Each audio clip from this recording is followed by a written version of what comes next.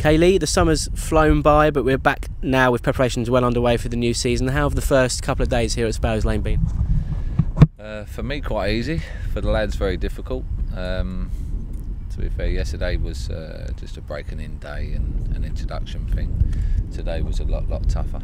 Um, and you could see they was they, they, was really feeling it today, you know. So uh, and we only done a morning session. Um, it's been good they're they're in good spirits, you know, and, and, and straight away you can see the, the enthusiasm and from the lads, and, and, and they all know, you know, like this is a start, a fresh start, and in this competition for places, so they're all gonna they're all gonna give hundred percent, and that's all we can ask for as staff it's obviously been a, a, bit of a summer of uncertainty with the takeover ongoing and all that sort of stuff. But I guess your own future being a little bit up in the air as a result of that. But you must be pleased now for pre-season to be underway for you just to concentrate on what the most important thing is, and, and that's the football. Yeah, the most important thing for me is, is, is obviously the football. Whatever's going to happen will happen regarding myself and the takeover. Can't control that, so there's no point worrying about it. But what I can control is, is how I prepare the lads for the start of the season. Um, and that's what myself and Jacko and, and the rest of the team will, the, the rest of the staff will will do to the best of our ability. So whatever happens in the future, then at least I can say that I've I've done my job properly. You know. Obviously, the back room's taken a bit of extra shape with Andy Marshall um, coming in, joining us yesterday. Uh, a good addition who comes highly recommended, apparently.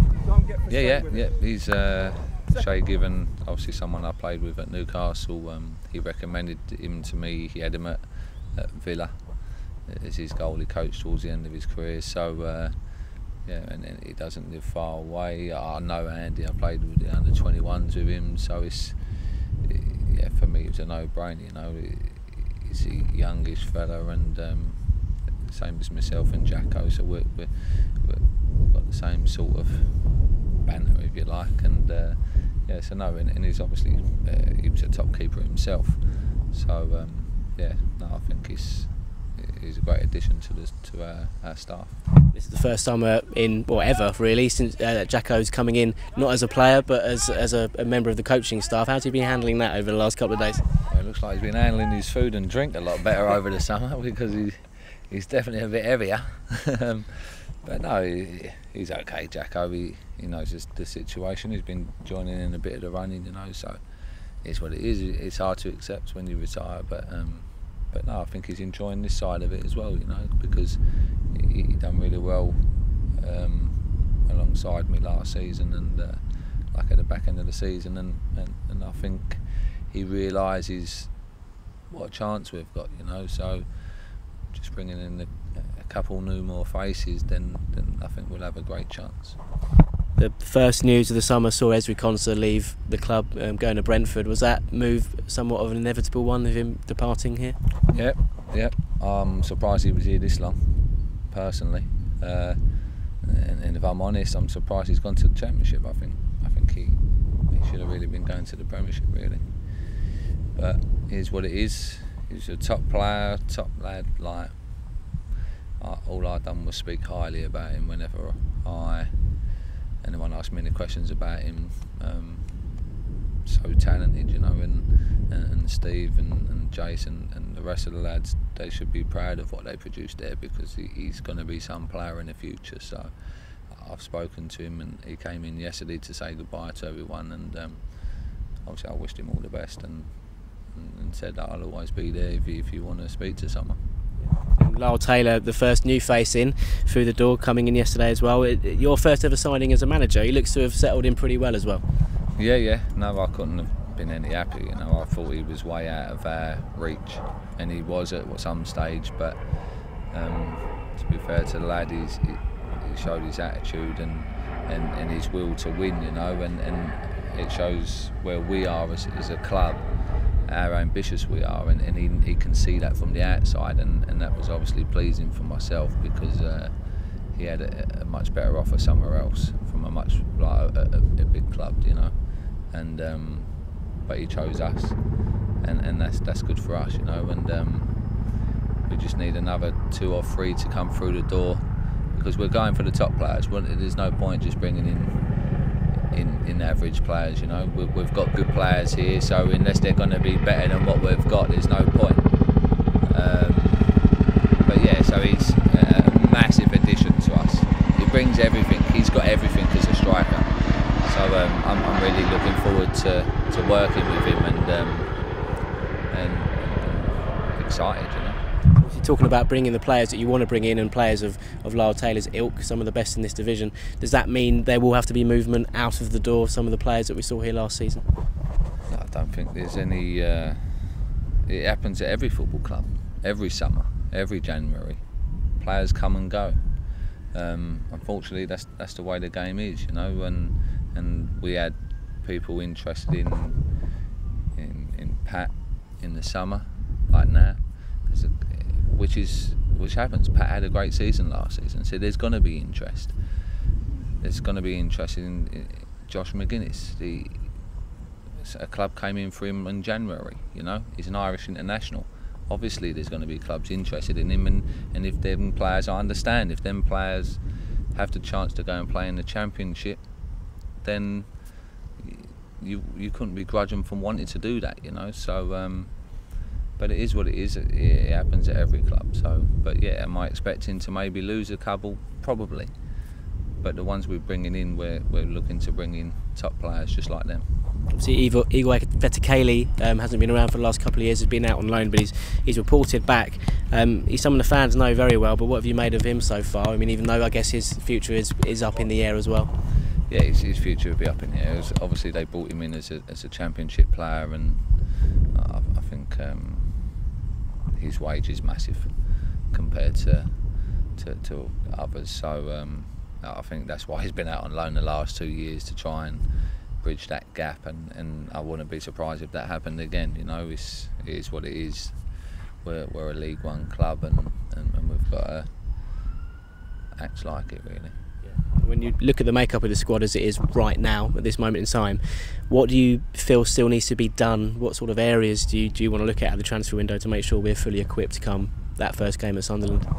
Um, I need central midfielder for sure, at least one. Um, that's definitely where we're weak. We've got two in the building. We've got Joe Aribo and Jake Forster-Caskey. That's it. Um, we've got good young lads coming through, but are they ready yet? No. Taylor Maloney and George Lapslie, they're, they're your next two in line. They're not ready. Um, so yeah, we have to bring in a, a, physical central midfielder. Is there many out there? Not really, but we're, we're trying. Um, in, in, an ideal world, to, if you lose maybe Josh and, and, and Igor, then then we would look to bring in another striker as well, another top striker. So it's all ifs and buts at the moment. But the, the most important thing and, and, the positive thing is that we've got Lyle Taylor in the building. Something that I thought was not going to happen at one stage, and uh, so he was the first one, and, and, and, I was just grateful that the owner stood by us and, and, and, backed us for that. You know, so that was the most important thing, and, and we've got an outstanding, outstanding striker. I guess as an individual, it's the first time really you've experienced being the manager and, and being in charge, I guess, of that process and working alongside Steve Gallen and getting those bodies over the line. Has it been quite an enjoyable challenge so far, although a little bit stressful, I can imagine? Yeah, very stressful. I've never been on the phone so much in my life. I've been in this last probably six weeks, five weeks. I've been on the phone more than the last five, six years.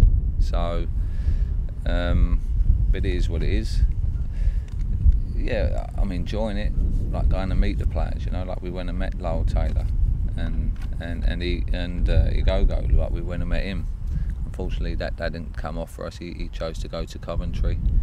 Um, but yeah, so to trying to persuade these players why we're the right club for them, you know, and uh, and uh, it was good. It, it's good, and and, and I'm learning, you know. Off to Portugal this weekend for a few days. That that trip away as a group is always quite important, isn't it, in the summer? Yeah, yeah. It's, it's probably the most important thing at this present time because as, as, as much as we, we like our facilities we have here, it's, it's good to, to go and bond and, and be in, in each other's company like 24-7 if you like. So uh, we'll be going there and um, trying to put that team spirit back that we'd built up in the last season and um, yeah, so we'd be there and we'd be working hard, and and yeah, it, it's a good place to go, you know. Obviously, next weekend is the, the first bit of action, if you like, at QPR behind closed doors, the first friendly of the summer.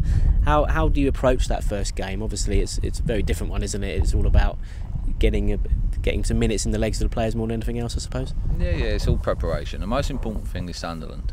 Sunderland on the first day of the season. That's the most important thing. Obviously, you'd like to win every game up until then, but for, for us, it's just getting the lads ready, fitness wise, preparation, getting some minutes under into their legs, like you said. So that's the most important thing. We'll probably split it.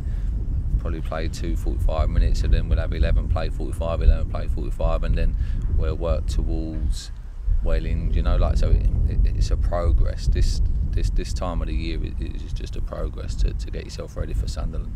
Is it an important time of the year, this part of the summer for the younger players, perhaps some in the under 23s who will get an opportunity the likes of Welling to play in front of the, the fans and try and stamp their mark or at least get themselves on the fringes in an opportunity like this?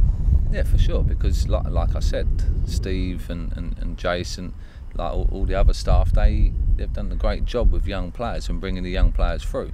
I, I just said to you, like we've got like young um, George Lapslie and, and, and, Taylor Maloney. They're, they're travelling with us to Portugal, you know. So you've got Ashley, the goalkeeper. Like uh, these are all going to get chances during the season. They have to because their squad is, is so small.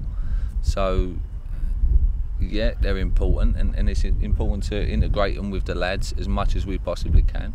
Obviously, Jace needs them as well at some stages of the season. So yeah, but it, it, it's a good time to to see where they are, and, and at this present time, is George and uh, Lyle, uh, Taylor. Um, are they ready at the moment? We know a lot more through these pre-season games. So um, yeah, no, it's, it's good for them. And listen, if, if they're ready, I will for sure put them in the side. No, no, no two way.